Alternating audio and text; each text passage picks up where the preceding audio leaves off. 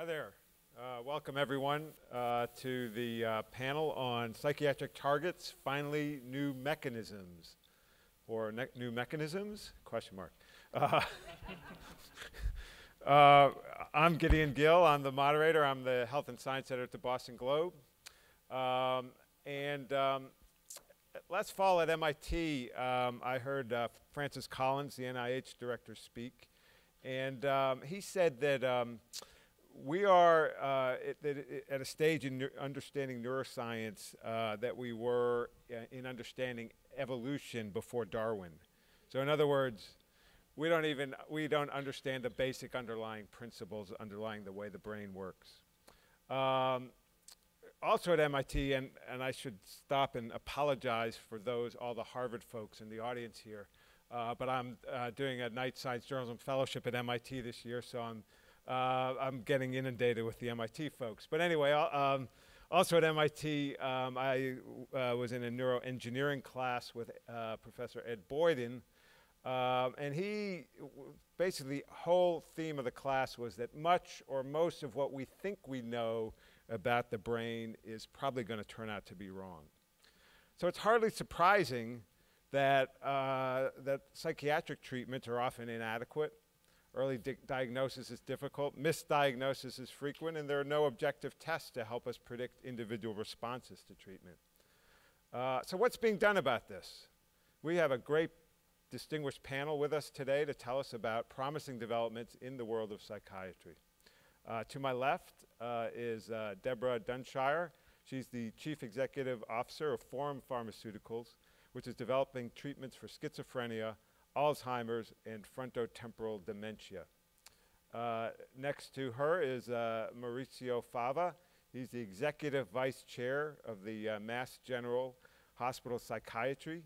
Uh, he's also the Slater Family Professor of Psychiatry at Harvard Medical School, and his research focuses on depression.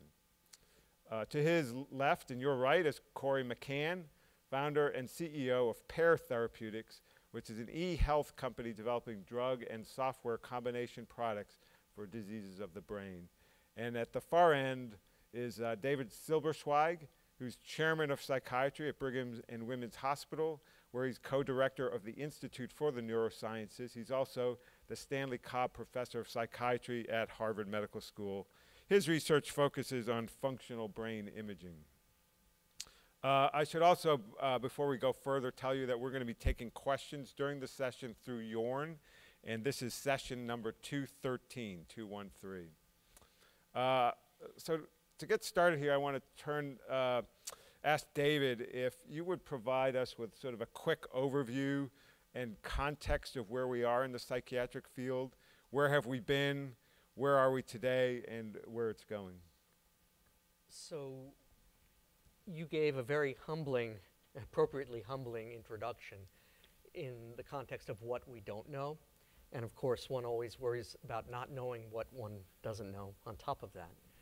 Um, that said, I think we are learning a lot in the last few decades in particular that puts psychiatry more firmly in the medical sphere as a biologically based discipline, while at the same time understanding the psychosocial aspects and ramifications, and even causes in some cases, because as we've heard from this conference, and in the context of epigenetics and plasticity, the brain evolved to mediate interactions with the environment, including social interactions, as well as to orchestrate as a highest order orchestrator of uh, our own bodily functions.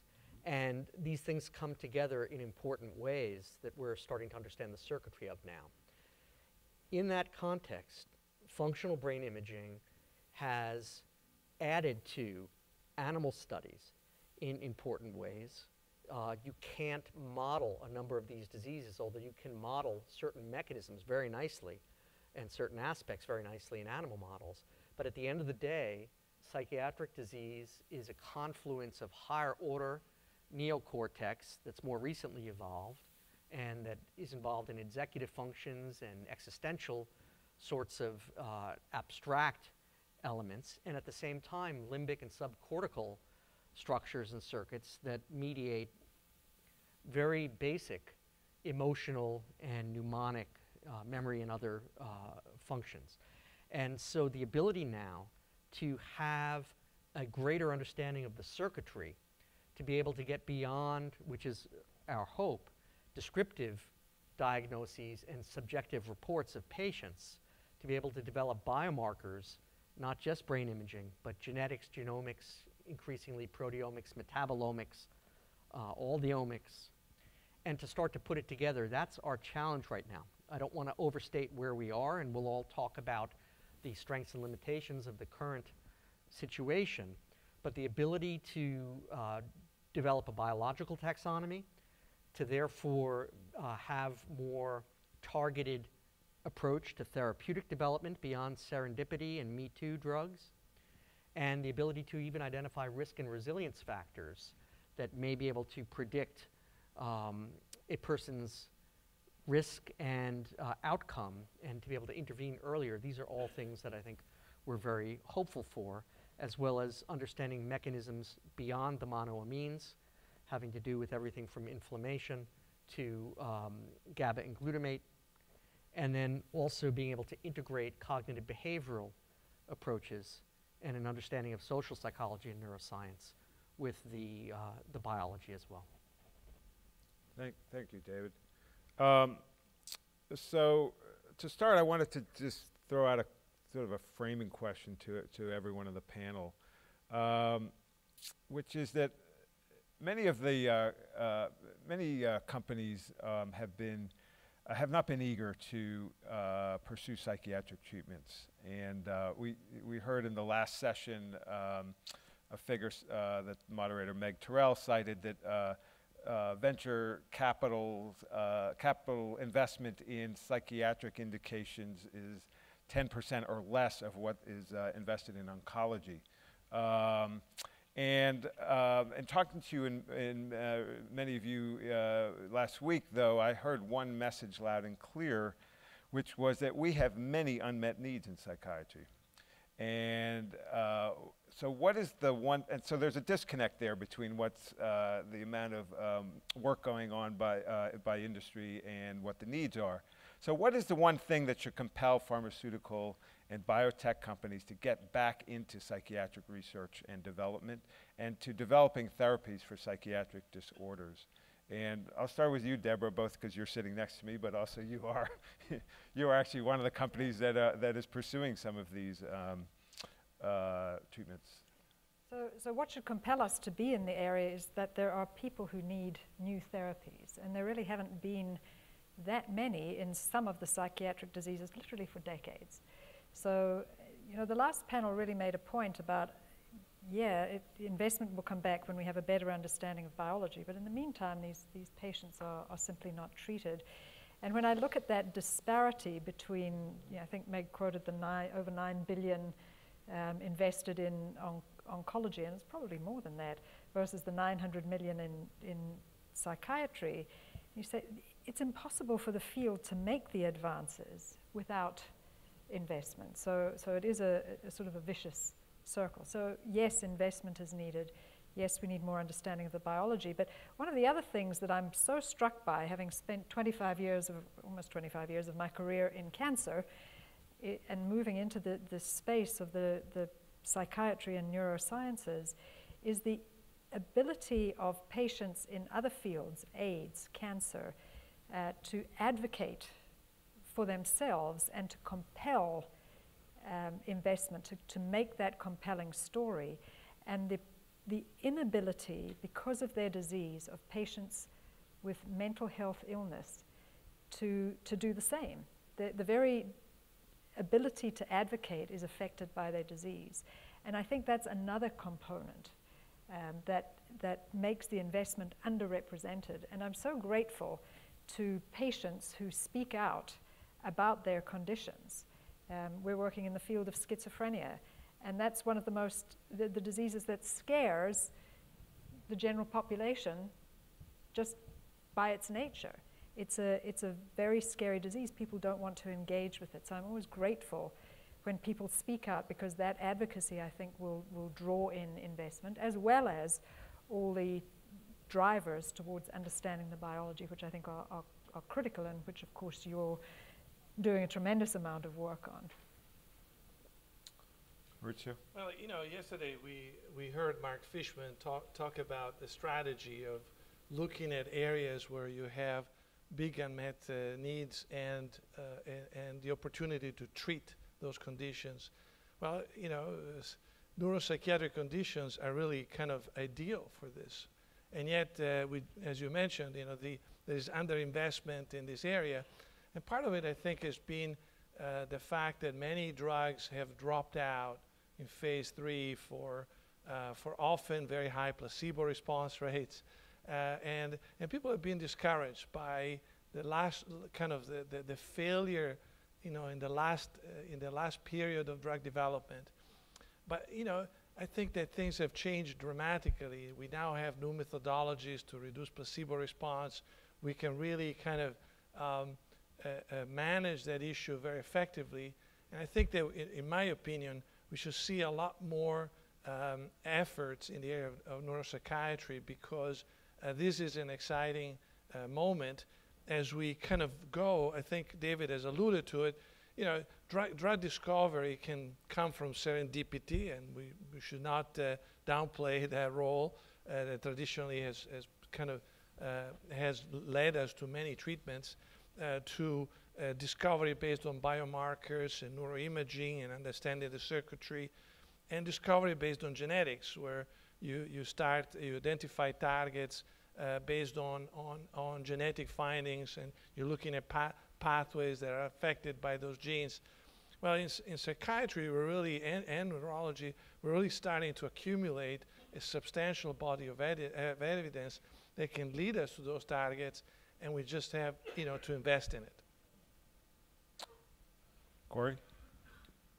Well, I would, uh, I would certainly echo the notion that unmet medical need is probably the thing that should motiv- motivate us all.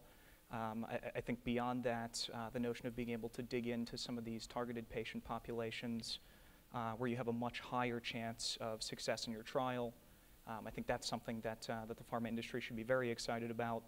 Um, I, I think from the perspective of uh, pure uh, technology developments, uh, one of the things that we're most excited about at Pear, and one of the things that I'm personally most excited about, uh, is the opportunity to create therapeutic software uh, in mental health and specifically in psychiatry.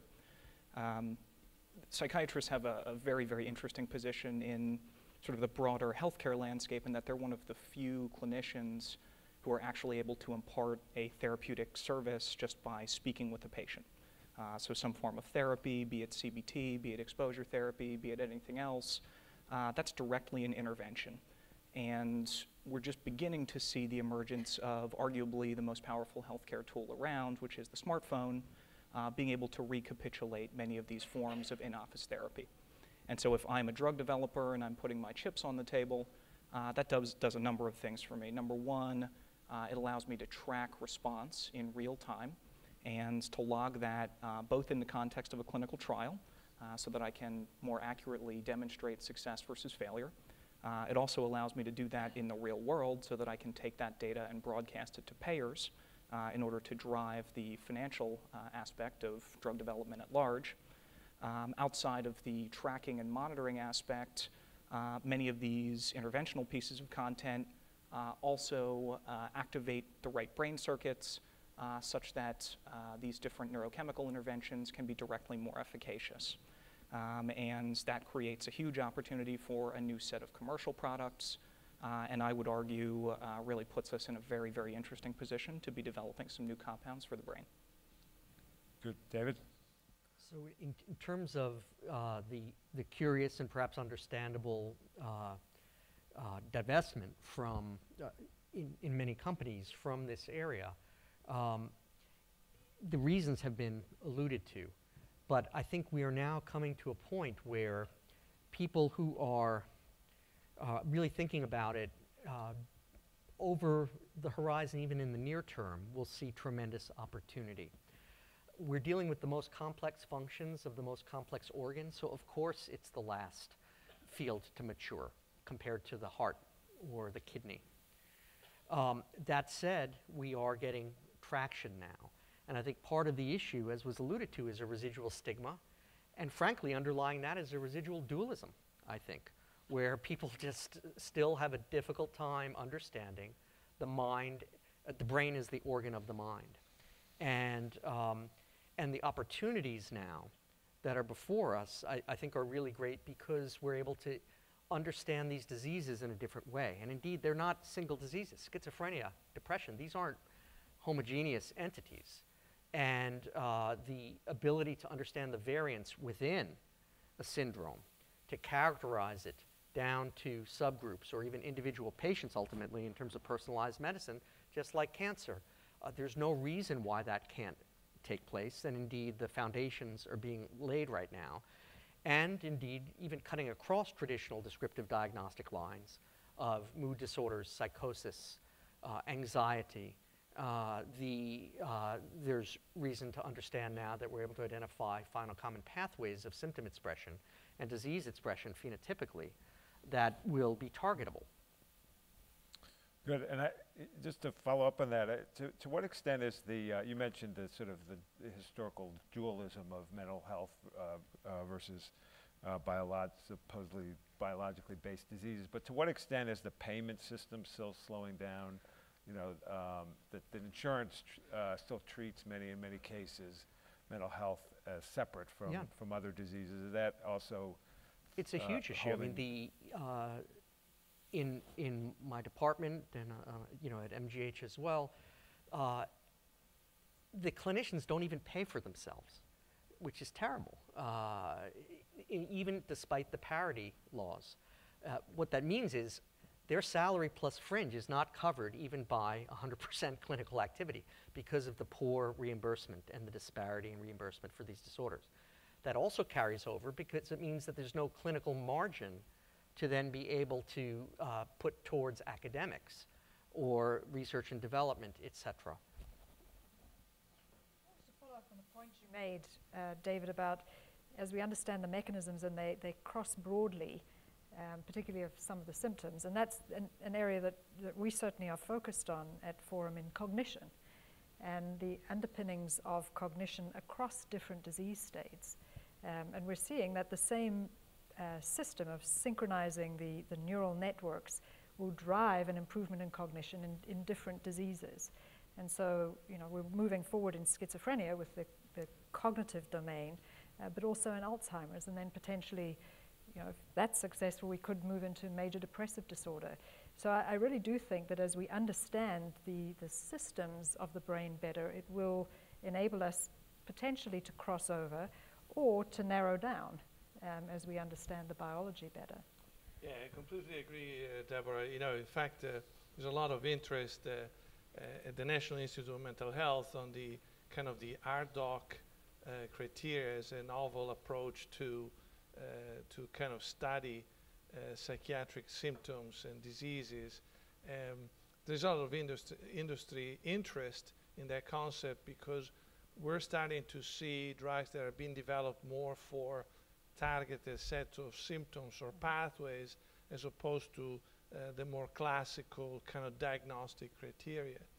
So you could have, in some ways, in theory, drugs that are more specifically pro-cognitive across a number of conditions, um, uh, and and that's kind of a, a a novel aspect, in my opinion, in drug development. Uh, um, Interesting. Uh, Maurizio, just um, I wanted to see um, what you can tell us about um, what's exciting you with antidepressants. It's, you know, as everyone knows, there's really been no fundamentally new antidepressants in decades, and are are you seeing some some exciting changes in that? Uh, Yes, certainly. Uh, You know, we're, we're starting to see a lot of activity, uh, both in phase two and phase three. You know, for the past uh, 50 years or 60 years, all the antidepressants that have been approved have been fundamentally monoamine-based therapies, whether MOIs, tricyclics, SSRIs, SNRIs, that were all fundamentally uh, deriving from these molecules discovered by serendipity that affected the monoamine system. Uh, so we're starting to see now finally uh, compounds that uh, target other systems. Uh, now, interesting enough, uh, uh, one of the targets is glutamate was discovered by serendipity by Rob Berman and colleagues at Yale. They did a trial of ketamine um, and, and found this, you know, very kind of surprising, very rapid antidepressant effect of ketamine intravenously at low doses. And, and now you have uh, companies like J&J, uh, you know, studying esketamine in phase three uh, for, uh, for intranasal for depression. You have Naurex with, um, with GLYX-13, which is a, a compound, um, also looking at depression. And then you have companies like Roche looking at uh, uh, mGluR5 uh, modulators um, uh, for depression, and then AMPA modulators being developed by a number of companies. So I would say that glutamate definitely it's a very exciting target in depression, depending on how uh, you know what compounds you're looking at. Uh, the other area is Ju- the Just, can you explain how, how does the glutamate uh, system work, or do we understand the mechanism of well, I think how it affects depression? You know, there were uh, the first proponent really of a glutamatergic theory of depression was Phil Skolnick in 1990. Kind of wrote a seminal paper on, on really kind of the, the role of glutamate and, and, and they hypothesized that antagonizing receptors of, of, of the one of the glutamate receptor, the NMDA, will lead to antidepressant effects. And uh, ketamine, which is an NMDA receptor antagonist, does, does that does certainly induce a very rapid antidepressant effect. But then there are other receptors of the glutamate family that may modulate uh, that system and may lead to uh, potentially very rapid antidepressant effect. Uh, right now, if I put a patient on antidepressant, it will take three, five, six weeks to see a response. Getting a response within 48 hours is extraordinary. It's a, it's a, a extraordinary innovation. So if we can get drugs that address the issue of speed and efficacy, because many of these drugs that we use currently work in less than half of the patients when you start someone on an antidepressant. So uh, glutamate is one. The other area that's more uh, related to biomarkers is neuroinflammation, so compounds that have uh, anti-inflammatory effects uh, uh, uh, may you know, prove to have uh, an antidepressant effect and then drugs that uh, modulate the opioid system. Uh, probably the most advanced compound is being developed by Alkermes, um, which combines uh, buprenorphine with a uh, with ALKS33, which is a mu antagonist, to modulate the op- opioid system uh, with a, with a uh, kind of a kappa antagonism, and and that compound now right now is in phase three um, with uh, CereCor developing in phase two a selective kappa antagonist. So uh, we're starting to see a lot of non-monoamine based therapies being developed, um, and, and we're very excited by it.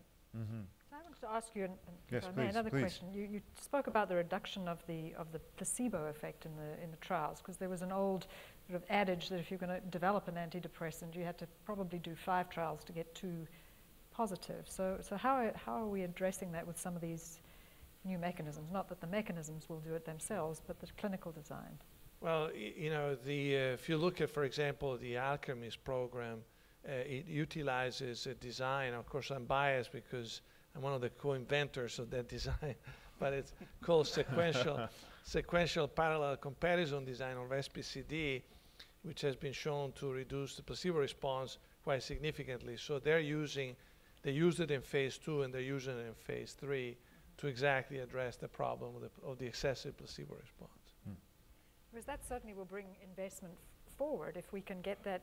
What I hear from investors a lot is they're, they're afraid of neurology and psychiatry to a degree because of not seeing the translatability of good phase two data into good outcomes in phase three. And that's incredibly scary because of the scale of investment in, Mhm. in phase three.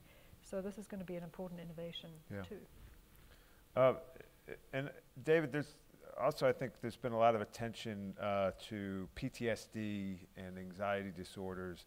Um, you know, largely driven by the return of soldiers from uh, Iraq and Afghanistan. Uh, but of course, it's, these are not just issues, not just confined to, to veterans. Um, what, uh, how effective are the current PTSD treatments, and what, what new therapies or developments are on the horizon? Um, and what are we learning from basic science uh, and brain imaging about the fear circuitry that's uh, helping us to figure this out? Sure. So, um, right now, as you say, there's a lot of attention on PTSD, uh, as there is on TBI, traumatic brain injury, and, and the, uh, the convergence of the two in some cases. And what we're learning is that the evolutionarily conserved fear circuitry that, in an adaptive fashion, allows us to detect threat and to mobilize for it, whether it's in a fight or flight response or a freezing response, or to remember with one trial learning uh, something that was dangerous that we had better not be exposed to again, if at all possible.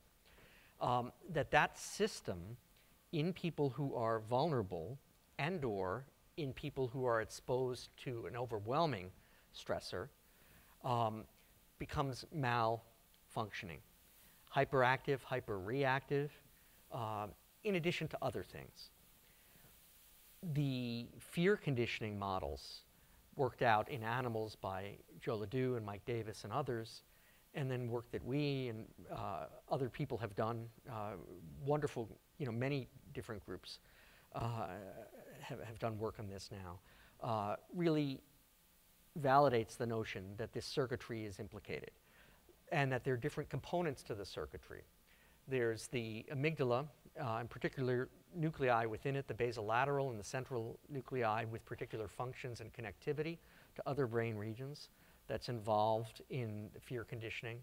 There's the ventral or anterior hippocampus that's involved in the contextual aspects of, uh, which is why you can remember where you were and what you were doing when the Boston Marathon bombing occurred or 9 11 or something like this.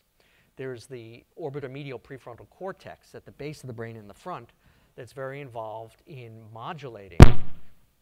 Whoa, talk about that. Yeah, yes, absolutely. Remember that. Uh, startle response. Yeah, I'm, I'm autonomically activated now. That's a, or caffeinated, I should say. Um, so there's the uh, orbitomedial prefrontal cortex that's uh, involved in modulating and inhibiting, in some instances, these more limbic uh, reactive systems. And so what that means is that gives you inroads into uh, rational therapeutic development. It also allows us to understand how certain existing treatments work. For instance, SSRIs, which are thought to uh, work more on the quieting down of the emotional reactivity, uh, if you will, part. Uh, cognitive behavioral therapy, which is more reliant on top-down modulation with prefrontal executive cortices uh, dampening, dampening down the, uh, and learning the skills to dampen down the emotional reactivity, etc. Then, if you dive another level into the biology, there's fascinating new approaches of understanding what's called reconsolidation. Uh, it used to be thought that when you have a memory, that it is fixed, and you always call it up, and it's always the same. But what neuroscience now is understanding is that at the level of these systems and at the level of plasticity, that these memories are mutable and that the emotional component and the semantic or episodic memory component may be dissociable. So that there's now work uh, at many uh, places, including uh, wonderful work at McLean, to, uh, to see whether there are methods or, or ways chemically of interrupting this process uh, and, and uh, interfering with the memory trace in the first place, uh, being so affectively um, uh, valenced, we would say, uh, so that you could still remember what happened but not be so affected by it or mobilized. And then, uh, or enhance forgetting, if you will, the active extinction uh, process of the, uh, the memory, and, and thereby allow people to have a therapeutic benefit. Uh, if I could say one other brief thing, that's the PTSD component. And part and parcel of, of, this whole approach that we've been talking about is understanding that all anxiety is not the same. In fact, the latest DSM, uh, despite its limitations, has seen fit to split off OCD, which is more of an impulse control disorder, from the quote anxiety disorders where it, it had lived uh, previously. And that makes sense in terms of the circuitry that mediates the obsessions and compulsions repetitively uh, in, a, in a broken wheel in the brain. And then uh, we and others are finding that panic disorder has a separate signature yet again, which should not be surprising. Instead of an external threat, like post traumatic stress disorder to the organism, it's internal threat and autonomic storms that occur. And so, what we're seeing with our brain imaging is that the higher order brain systems that mediate, or middle order systems that mediate uh, the, uh, the regulation of the autonomic nervous system and its reactivity to the environment are at play there. And then finally, more generalized anxiety disorder, which may be more of a prefrontal rumination problem uh, rather than a, uh, a threat problem in a different sort of way. So, uh, are, is, all, is this um, more detailed understanding helping us find treatments? It is, um, and there's evidence of that already, and a lot of us are working hard to, to, to lay the foundation for the next generation of treatments because even for reasons that I just mentioned, or with the examples that I just gave, that gives you separate targets, where all of a sudden you can stratify and have a separate prefrontal target for uh, generalized anxiety disorder. Uh, you have different types uh, of targets and inroads to the PTSD. Um, we can look at areas in orbitofrontal cortex and the insula that may be more involved with panic attacks and panic disorder. And then you can zero in whether it's with brain stimulation non invasively or invasively, whether it's with more specific pharmacology with our basic science colleagues, where we say, look here, uh, what receptors and subtypes of receptors are expressed in this particular area of the anterior insula uh, on the uh, non-dominant hemisphere of the brain, for instance, um, and or what sort of cognitive behavioral therapies or even mindfulness, which we're looking at now in terms of the brain modulation, that allow one to, to work through uh, conscious volitional prefrontal mechanisms to, uh, to modulate. Good. I'm, I'm glad you brought up cognitive behavioral therapy because I um, want to talk about that uh, some. Um, last week there was a study, uh, uh, UK study published in the journal Lancet that reported that mindfulness-based cognitive behavioral therapy was equivalent to antidepressant medications in treating patients with recurrent major depression over two years. Um, so, do we um, know? Are we have we figured out how CBT is working in the brain to achieve these um, successes?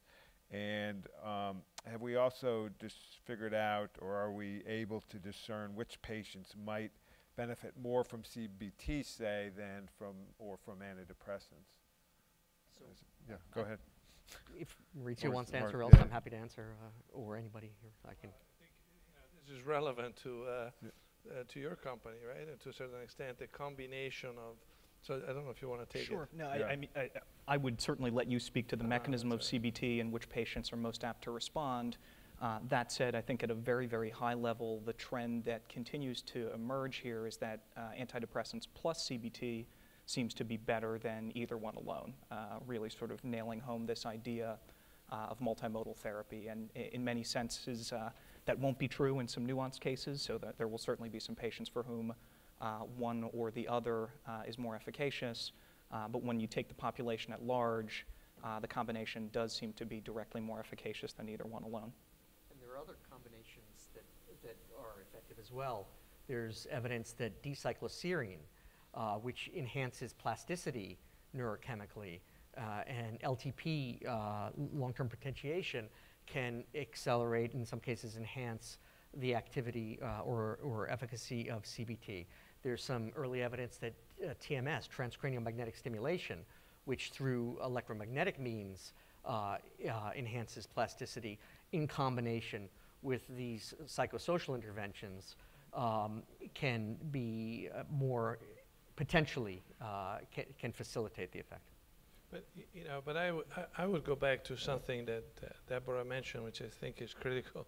You know, in, uh, when you look at, uh, for example, conditions like anxiety disorders, as the ones that uh, David has has mentioned, there is a perception that um, that we uh, the, the treatments that we have uh, uh, are adequate and we don't really need any more treatments. And and so um, so for example, uh, as far as I can tell, there's almost uh, almost nothing in development currently, you know, in phase two and phase three for conditions like panic disorder, generalized anxiety, as if in some ways we should really be satisfied and say that's it. You know, we between the benzodiazepines and the antidepressants, we, I think we, we, we have it under control. The reality is that as, as a clinician, we know that we're not addressing many, uh, many of these conditions adequately. There are often resistant forms of, of these conditions that lead to uh, you know, impairment, and yet we're not investing in drug development in these areas. Partly it's the placebo effect that has kind of deterred people but part of it is that there's not enough uh, kind of advocacy. You know, I, I you know, uh, I think an, an example is PTSD. We have so many soldiers coming back with PTSD. If, if they come back with a, an infectious disease, or I guarantee you, we would be all over drug, you know, drug development. But because it's, uh, it's PTSD, you know, we're uh, the number of treatments uh, under development for PTSD is very, very small and yet it's a devastating condition. You know, suicide remains one of the major causes of death for our soldiers.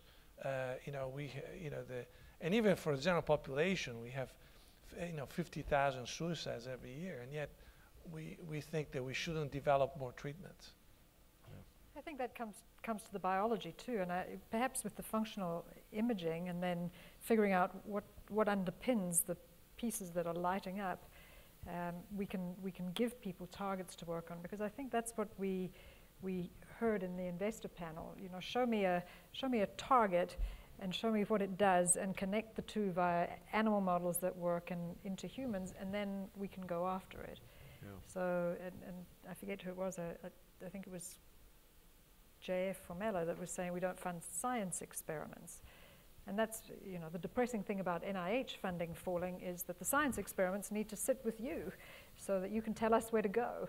Yeah. Uh, we're good at, in the industry at drug discovery and development, but, but you know, target discovery has really been the, the uh, frame for the, for the academic mm-hmm. world. I'm very excited about what the functional imaging of the brain can really help us do because it gives us that window that we've maybe had in other fields, um, in cardiac disease and cancer, for, for quite a while that we, we never have had in the brain.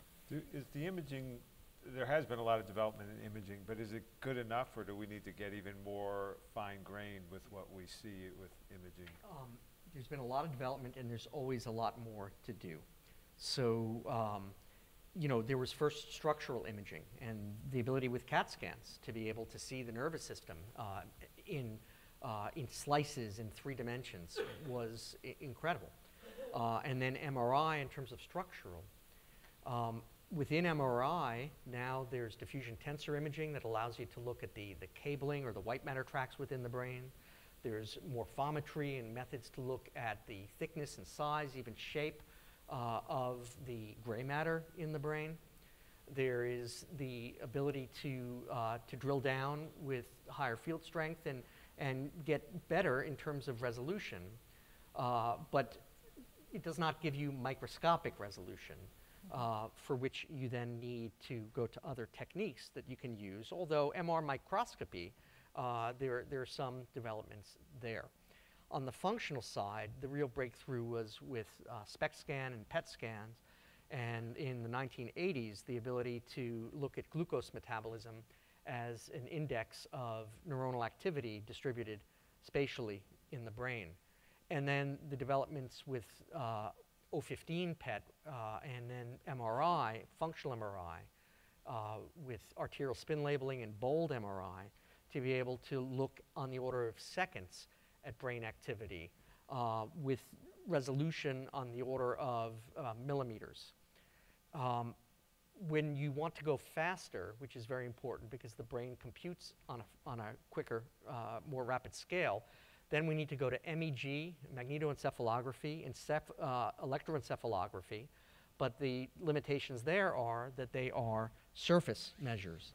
Um, there's then uh, optic, optical imaging, but still limitations in humans, and even optogenetics, which is a revolution now in, on the animal level, and the hope that, uh, that there may be in the future human um, sorts of applications.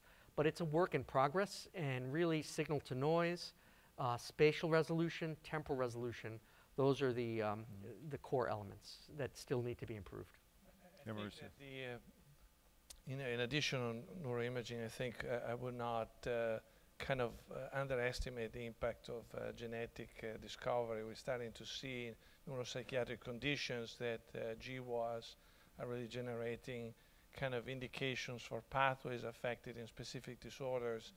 And, and uh, we're starting to see companies uh, developing drugs and treatments targeting those pathways specifically. And, and it's even more powerful as a tool when you combine neuroimaging uh, and uh, genetics together. You know, I see in the audience Dr. Smoller, who's uh, co-PI of the Superstruct project uh, with, uh, with Randy Buckner, which um, really combines genetics and, and, uh, and neuroimaging. And in my mind, that really is one area that could really excite in industry and biotech, where you're starting to unveil targets based on a combined approach of genetics and neuroimaging. I think it's important to, to highlight the, the real gap here, which is maybe not necessarily finding markers, it's finding targets. So, you know, I, I think we have lots of markers. Um, we have all of these imaging-based signatures and neurogenetics gives us a pretty good idea who will respond to what and how people will behave. The issue is that those things just are not um, um, immediately druggable. And so as we survey the brain, we find circuits which are pretty largely molecularly homogeneous, and we don't have a way to get at them. And we find target genes which are more than likely active during development that set up the circuit in the first place, and which in and of themselves are not directly druggable at the time of disease. I, I think if we want to think about, you know, what is the penicillin of mental health, what is the immuno-oncology of mental health, I think we have a pretty good idea what it is because we've seen it in animal experiments in the last five to 10 years. It's optogenetics. It's finding uh, a genetically predefined circuit. It's being able to turn it on and turn it off at your whim and do the loss of function, gain of function behavior experiment uh, in a patient to make symptoms go away, come back, go away. Um, I think we're very far from being able to actually implement that in patients, um, but that's where we should be headed. Um, I think on the other side, when we talk about the things that really excite us, um, and, and we're probably more guilty than anyone on the stage here, we're developing uh, a program around D-cycloserine, which you mentioned earlier. That's a tuberculosis drug from the 1950s. Um, it's incredibly dirty. It tickles the NMDA receptor in lots of ways that we don't even begin to understand, and that's state of the art. So, so it's not to come up here and stir the pot and say that things are terrible, um, but we're a long way away from having druggable targets here. Yeah. One Yeah, way David. of bridging that gap, and, and Maurizio alluded to the sort of fMRI genetics. Uh, another way is the use of PET scanning and molecular imaging that allows you subnanomolar discrimination of receptor specific or molecularly specific or metabolically specific um, uh, species and gives you spatial localization and allows you to look at state and trait across, uh, across different groups.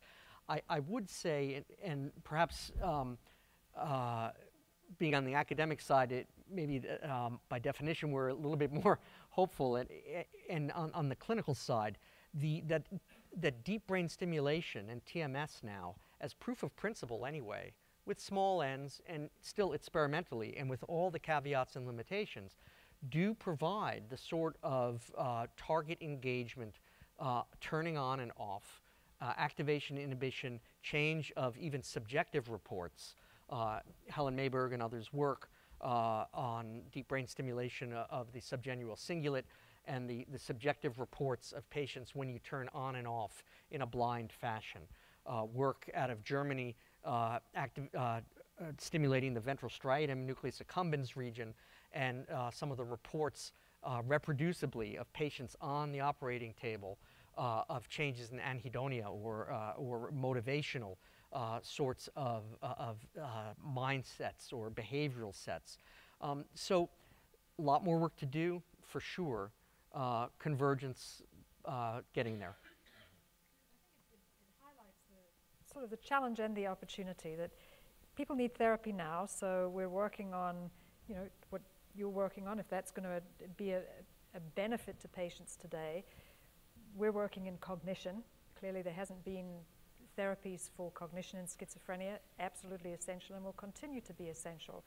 But I'm, I'm hopeful that the novel targets will also be more, more available and tractable given that the technologies are advancing. So I, I, I do think about this next 10 years as truly being able to be transformative in bringing forward new things.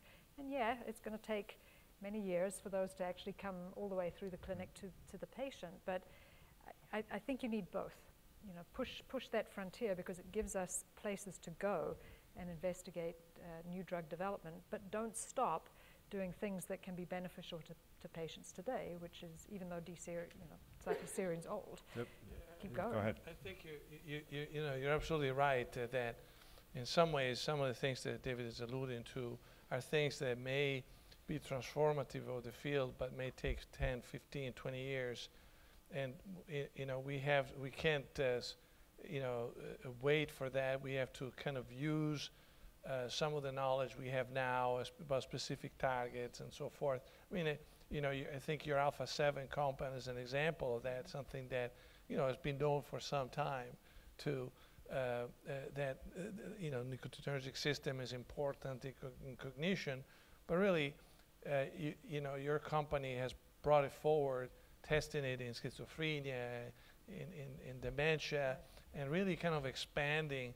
And I'm hoping that you guys are going to look at cognition and depression because, you know, uh, over, you know, a third of the patients with depression, even when they respond to antidepressants, continue to have cognitive impairment, and, and that's an area that we know our current antidepressants, uh, you know, do very poorly addressing that symptom. Uh, but you know, I'm curious. That you know, how how did your company in some ways focus on an area that has been neglected by, uh, you know, the field for for so long? I think, I think for Forum, it comes from, you know, we have a, a, a committed single investor who has had a, a vision for the need for new therapies and the patients to support the, the development. And so the company was able to really drill down and, and do things in a very uh, thoughtful fashion. I, I think about uh, you know, Dana Hilt, the chief medical officer, and Gerhard Koenig, the chief scientific officer, are here who did, did the work. Um, so, you know, I claim no credit, but they're, they're the people who did it. And in thinking about just looking at cognition in some of the early work in schizophrenia, even at the, at the time we, we were looking at safety in combination with antipsychotics and just saying, what does it do to cognition? And seeing on a, the EEG metrics of, you know, the P300 and mismatch negativity change and saying, wow, what does that mean? And taking the next step in the scientific process and saying, okay, let's take it further. Let's use this to take us into a phase 2B trial in schizophrenia. So I think we're, we're all building off, you know, some observations, some great science. You know, we, we know alpha 7 is important, a great molecule, one that actually can test the hypothesis, and then following the clinical observations. And then the, the opportunity to go, to go where the medical need is into places like depression. Yeah. So it, but, but this company has been dealing with this for a decade, right? This is, this is a long cycle process that we're engaged in. Um, but I think that, that for all of us, the next 10 years is going to be a, a I- I look forward to doing this again in 10 years with you, Gideon. But I know, David, you wanted to say something. I, I, uh, I, I just wanted to add that another strategy while we're waiting, so to speak, or just in general, although there's not as much of an economic incentive for it in some circles, is to look towards the known pharmacopoeia and drugs that are already approved for another indication, but that we have reason to believe have mechanisms of action that uh, engage the sorts of targets that we are discovering, and that uh, that, that is another uh, a possibility that's not mutually exclusive. A beautiful story about that at, at Forum, our uh, second molecule, and it's not a psychiatry indication, but a, a neurology, frontotemporal dementia. You know, academic uh, researchers, Joachim Herz, was screening all known compounds for compounds that would modulate progranulin, one of the proteins deficient in a, in a specific genetic mutation in this frontotemporal dementia population. Found an HDAC that did that, but it didn't penetrate the brain.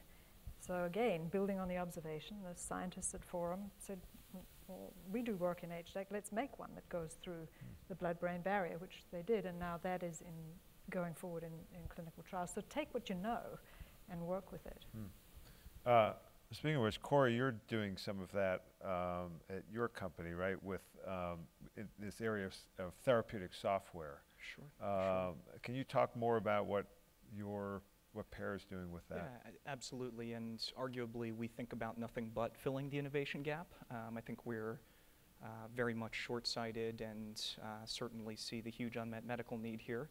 Uh, the notion behind uh, Pear and what we call the E formulation uh, is to take existing approved drugs, uh, add them to therapeutic software based interventions uh, and to position them toward patients in ways in which the combination is directly more efficacious than either one alone.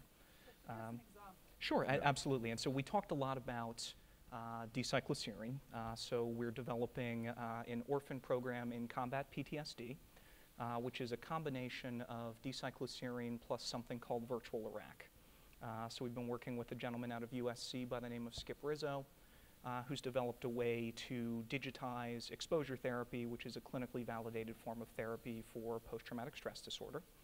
Uh, here, what he's done is to take something that's a lot like the Call of Duty game mechanic, uh, to put it into a virtual reality headset, and to be able to display uh, for a wounded veteran uh, their most traumatic memories, such that a clinician by the side of the veteran uh, can walk them through strategies to cope with those memories.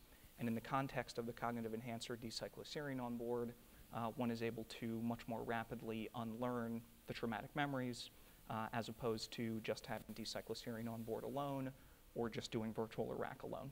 Uh, so that's one uh, very acute example uh, of how we're working toward impacting both brain chemistry and brain experience simultaneously in order to enhance the efficacy of an already approved drug uh, granted, the caveat is that D-cycloserine is approved for tuberculosis and not post-traumatic stress disorder, um, but it is sort of a means of very, very near-term uh, repurposing. Um, you know, you work down our portfolio. Uh, we've got a program in depression, uh, a program in insomnia, uh, one in anxiety, uh, one, believe it or not, in schizophrenia that's actually able to enhance outcomes as assessed by PANSS in the context of maximum doses of atypical antipsychotics. So essentially, two-arm study. Uh, one set of patients is on maximum doses of atypicals. The other set of patients is on atypicals plus the software. Uh, and you get a PANSS bump from the combination of the two. Uh, so we've basically played that concept out across a portfolio. Um, and the notion is we don't want to wait for the next 15 years for uh, remarkably new mechanism compounds to come to the market to impact this set of patients. Uh, we want to bring these things to market in the next three to five years uh, to fill that innovation gap. How much of a bump are you getting for patients when you do these combinations? The easy cop-out answer is it depends. Um, it's entirely specific upon the indication and the therapeutic software intervention. Um, that said, in many cases, these are very, very, uh, very significant bumps. So in the schizophrenia example, we're seeing about an 8 to 10% bump in PANSS above and beyond uh, max doses and, of and atypicals, uh, uh, positive and negative symptoms in schizophrenia, which is the approvable endpoint or one of the approvable endpoints drug in the space. Um, that's the sort of thing where if this was a new mechanism therapeutic and you were doing an atypical versus your therapeutic, you'd get really excited about that bump. Um, in addiction, we're seeing roughly a doubling of days abstinent for the therapeutic software uh, versus, uh, uh, rather, the, the, therapeutic software plus buprenorphine uh, versus buprenorphine alone. Uh, we're seeing a similarly significant bump when you look at drug plus software versus drug plus in-office intervention. Uh, so it's, it's in some ways counterintuitive, uh, but you're actually able to get a really, really impressive efficacy bump just by putting these two things together. Hmm. Do, um, I have a question here from the, the audience um, asking, can you speak more about developments in the passive monitoring space? Does anybody want to, David, do you want to take that on? So uh, we have a, a program in behavioral e-health, and uh, and I think all you know, all the departments have uh, ventures in this area. Um, the and as had, has been alluded to in this conference a lot, that the ability to monitor in vivo, in the real world, 24 7, digitally uploadable, number crunchable, quantitative uh, data about a person's behavior, or even things like skin conductance response, um, or heart rate or heart rate variability, which gives you a sympathetic parasympathetic read and is related to stress and outcome and, and uh, medically even in addition to psychiatrically that, that these are transforming now uh, the, the possibilities uh, because you do have other endpoints other than the PANSS or in addition to uh, you know clinician or family observer or patient report. And uh, if we can monitor that a patient with bipolar disorder and manic depression uh, you know, who may be um, in between appointments has a, a 30% spike in her motor activity and her spending, um, then we had better not wait till she comes for her appointment. Uh, two weeks later if we can know that she's spinning into hypomania and may get out of control and, and we can then um, you know, uh, make the adjustment in, in her medication. But similarly, this gives you other sorts of endpoints or metrics that are objective for therapeutic trials, and, and I think that'll be helpful as well. The, the, uh, uh, one of the limitations of uh, our endpoints in psychiatry is often the fact that, you know, we interview patients at the, the intervals, and in between those intervals, we really don't know what happens, except that, you know, it's a recall of, you know, how you've done in the past week and so forth. So many companies now are looking at, um, uh, at both active and passive monitoring to have data that feed into an assessment of how patients are doing throughout the period of the trial to get a better sense of, uh, of all the things that uh, David uh, described. So methodologically, it's a great improvement. Now the question is that from a regulatory standpoint, uh, can these endpoints really replace the traditional ones, uh, you know, as primary? I think ultimately yes, but you know, we're still in a phase of uh, beta testing of these methodologies. But you know, all I would say, all the major academic centers have now a very robust portfolio of uh, kind of uh, electronic kind of uh, monitoring passive and active uh, in, uh, in clinical research. Mm. How do patients feel about being monitored in that way? And are there any privacy concerns? How, how does it all work? They actually like it. And it makes them, uh, obviously, I, I can't make a sweeping statement. You would mm -hmm. find people who feel all different ways about it. But, um, but these days, everybody has their cell phone at their side 24 7, really and there's app for everything. Mm-hmm. And an app for your mental health actually has, which often can have a sort of wellness spin or component to it, and a, a way to engage your provider um, and clinician team is, is something that, that they see as, uh, as beneficial. Yeah, we're seeing now uh, the success of the uh, Apple iWatch and uh, you know Google developing this, uh, these apps I think they're uh, they're they're becoming very popular. So I think that I agree with David that there's I, I don't think there is an issue of acceptability because uh, we're now used to in some ways uh, you know Amazon knows what we like at this point. I don't think that we can we can take back uh, privacy. Uh, that privacy from Amazon, right? No, that, that said, there are privacy and there's HIPAA and all of that, and so anything that any of us would do would be consonant with, Mm-hmm. with that. Sure. Yeah. Um, Another question from the audience is uh, Scott Rauch of McLean Hospital mentioned yesterday that we're moving towards a disease model in psychiatry. What do you think are the pros and cons of this? Will it raise the risk of over-medicating less severe disorders when treatments such as psychotherapy have also proven effective? Somebody want to jump in on that? Well, I Not think. I- I think, uh, you, you know, your, your company is in some ways leveraging uh, non-pharmacological treatments to potentially reduce the doses or, uh, uh, so I think it, it, it kind of, I don't know if you want to comment on that. This is a bit of a dangerous spot for me to comment amongst all of these prestigious psychiatrists. Um, you know, that said, I, I do think that these non-pharmacological interventions uh, do have the ability to ultimately reduce dose. Um, and with a reduced dose, one can think about an enhanced safety profile um, and fewer side effects. Um, there are really interesting opportunities to tailor the dose response curves for side effects versus efficacy across uh, both the medication and the non-therapeutic, uh, uh, the non-pharmacological intervention. Um, that said, I won't, I, I purposefully won't comment on the disease model of psychiatry. I think we, we don't need to worry as much about that, I think, because at first the model was too non-biological and psychodynamic and, uh, and so forth. Then people worry that it, maybe it's too reductionistic, but really what we're talking about, and all of us here in a rather fluid way, is the realization now of the biopsychosocial model, but in a mechanistic way about how these things come together uh, epigenetically, uh, plasticity-wise, experientially, so that you can have a bad disease, quote unquote, or, or severe, I should say, uh, like schizophrenia, and we uh, are showing that CBT can move the needle there in addition to medications. Um, you can have something that is not a quote disease, but for which um, an SSRI can be very helpful. So I think the notion of worrying uh, is it biologic? Is it psychologic? Uh, is it normal? Is it abnormal? Uh, I- think those are debates that hopefully we're transcending now as we understand more about mechanism. Thanks. Um, so I wanted to talk a little bit about substance abuse, which is a, another big area. Um, and what are um, are there new understandings of models of substance abuse?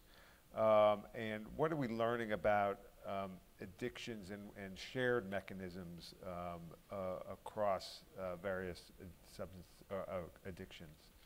Does- Well, I- Maurizio? I, I think that, Yeah. uh, you know, been very impressed by the fact that now a number of companies are moving into the substance use disorder field, uh, partly because of uh, kind of probably an, a, a, a very large body of evidence of brain circuitry abnormalities in, uh, in, in addiction and, and how uh, in some ways we may be able to manipulate those systems uh, pharmacologically and non-pharmacologically. So the so I think that uh, that's an area that is generating very interesting novel targets uh, for uh, for addiction, and, um, and and so we're I'm personally considering the tremendous impact uh, that you know uh, the substance use disorders have on on uh, you know, in our society, you know, the,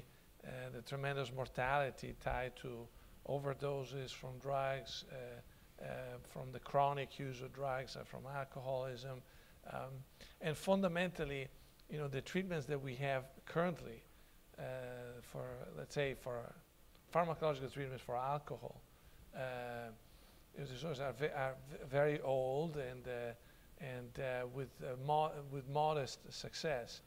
Uh, so I think that you know I, I'm, I'm delighted to see that really there is movement in that um, in that domain. Deborah, do you, do you agree? I mean, you must Yeah. see the same thing. Uh, certainly, there's more people and more of the industry involved in, in new um, discovery than there has been in a long time. I, I just, you know, listening to the Secretary of Health and Human Services at lunch talk, talking about the, the staggering number of prescriptions for opioids and, and the level of addiction, it's not coming a moment too soon, and we've got a long way to go. Yeah.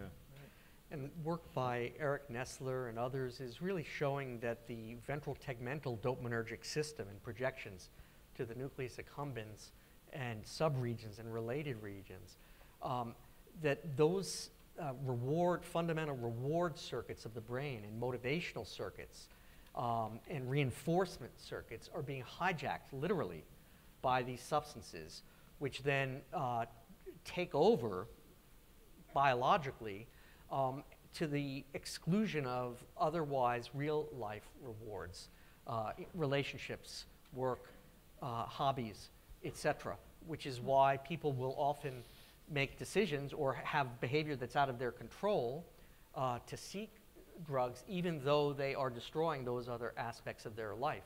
And so, with those discoveries and with uh, some of the elegant work that's going on now, that does provide other targets. Also, uh, coming back to something Maurizio touched upon, and, and, and just thinking about dual diagnosis of depression and alcohol, for instance, or schizophrenia, cannabis, uh, bipolar, cocaine. People self medicate. And there are also certain sorts of reinforced behaviors. And the more we understand about the circuitry and the mechanisms, the more we realize that these are not comorbidities. It's not a coincidence, although in some cases, statistically, you have two common things that happen to impact a person or two sets of risk factors. But really, once we understand that these systems in the brain uh, are convergent, and the, the ventral striatal system in, in depression, the, uh, the ventral striatal system in, in addictions, uh, it's no longer a coincidence and it's no longer a quote comorbidity. And we can understand mechanistically why these two behaviors or sets of um, symptoms are so associated, and we may be able to target them um, with, a, with a single approach. If I could also say that, like in cancer, we may want to take multiple approaches, um, not just in terms of software, drugs, and behavior, but even with drugs and pharmacology, the same way as in cancer. You're trying to get at the tumor. Once you understand the signaling pathway, um, you, uh, you try to get at the tumor um, through three different points in that pathway to stop it. Uh, the more we understand about the, the biology of these systems, um, the more we can target not only the, the final common pathways of behavioral expression, but the pathophysiologies and even etiologies that then impact upon those pathways, whether they be neurodevelopmental or um, uh, inflammatory or otherwise. Corey, did you want to? Yeah, I- mean, I think we started the panel asking why should pharma be excited? And I think addiction very nicely embodies why pharma should be excited. So I think some of the work that um, was just cited here, uh, some of Eric Nestler's work, uh, that's directly the loss of function, gain of function experiments in knocking out a very small targeted population of neurons, showing that they dictate the behavior. So we have this type of a mechanistic understanding of many of these addictive disorders. Uh, you roll that into the very practical uh, issue, which is that endpoints are incredibly short in addiction, uh, and there's no sort of subjectivity uh, with regard to your endpoint. This is a urinalysis where you're either sober or you're not. Uh, this sets up a really nice opportunity to develop and monetize new therapeutics. Thank you, and um, the clock says we are out of time, uh, so I want to thank our panel for their comments, and thank you.